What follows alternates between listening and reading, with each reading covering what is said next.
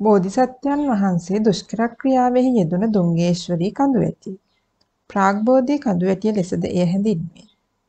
බුද්ධගයාවේ සිට ගයාවට යන ප්‍රධාන පාරේ ටික දුරක් ගිය විට නේරංජනා ගං ඉවුර හරහා කිලෝමීටර් 15ක් පමණ දුරින් දුංගේශ්වරී කඳුවැටිය දැකිය හැක.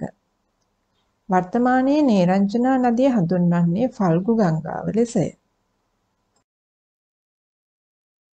සිදුහත් බෝධිසත්වයන් වහන්සේ සත්‍ය සොයා ගිහිගේ අත්හැර අභිනිෂ්ක්‍රමණය කර ආලාරකාලාම උද්දකරාම පුත්ත වැනි තවුසන් සමග විසීමෙන් අනතුරුව එයින් තමන් සොයන සත්‍ය නොලැබෙන බව වටහාගෙන උරුවෙල් දනව්වට වැඩ එහි නේරංජනා නදී අසල වනය දැක මෙය තවුසන්ට යෝග්‍ය තැනකයි සිතා එහි නතර වූහ.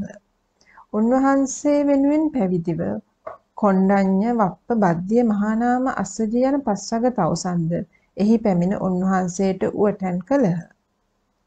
සිරුරට අපමණ දුක් වේදනා ගෙන දෙමින් වසර 6කට ආසන්න කාලයක් බෝසතාණෝ දුෂ්කර ක්‍රියාවේ යෙදුණහ. තමන් වහන්සේ මෙසේ බොහෝ වෙහෙස විඳිමින් දුෂ්කර වෘත පුරමින් සිටියද ඉන්නෝ පලක් නොමැති බව තේරුම් ගත්හ. රජමෙදුරේ වින්ද රජසැපත් ඉන්පසුව මෙතෙක් කයට දුන් දැඩි දුක් පීඩාත් යන දෙකම නිසිමඟ නොවේ යයිද එහින් එය හැරදමා මැදුම් මඟ යා යුතුයයිද තීරණය කළහ. එවිට බෝසතාණන් වහන්සේ සිරුර සංතර්පණය කරනවා යයි නොසතුටු වූ පස්වග තවුසන් බෝසතාණන් වහන්සේ හුදකලා කොට නික්ම ගියහ.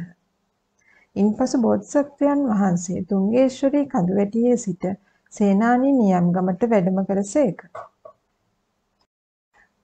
දුංගේශ්වරේ කඳුවැටියේ ගල් ගුහා තුනක් දක්නට ලැබෙන අතර ඉන් මැද ගල් ගුහාවේ බෝධිසත්වයන් වහන්සේ වැඩ සිටි බවට සැලකේ.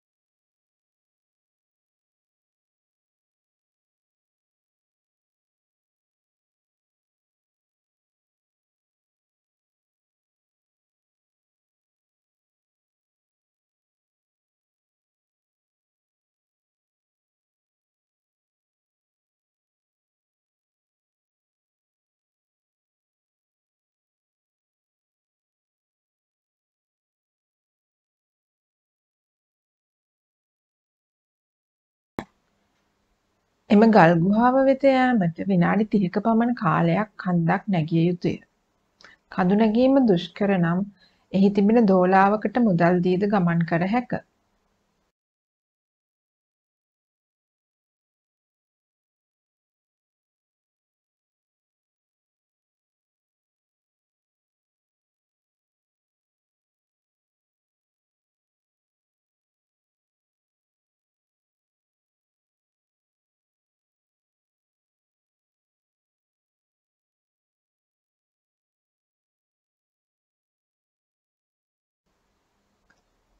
කන්ද මුදුනට නැගිය විට හාත්පස පෙනෙන දර්ශනය ඉමහත් මනස්කාන්තය.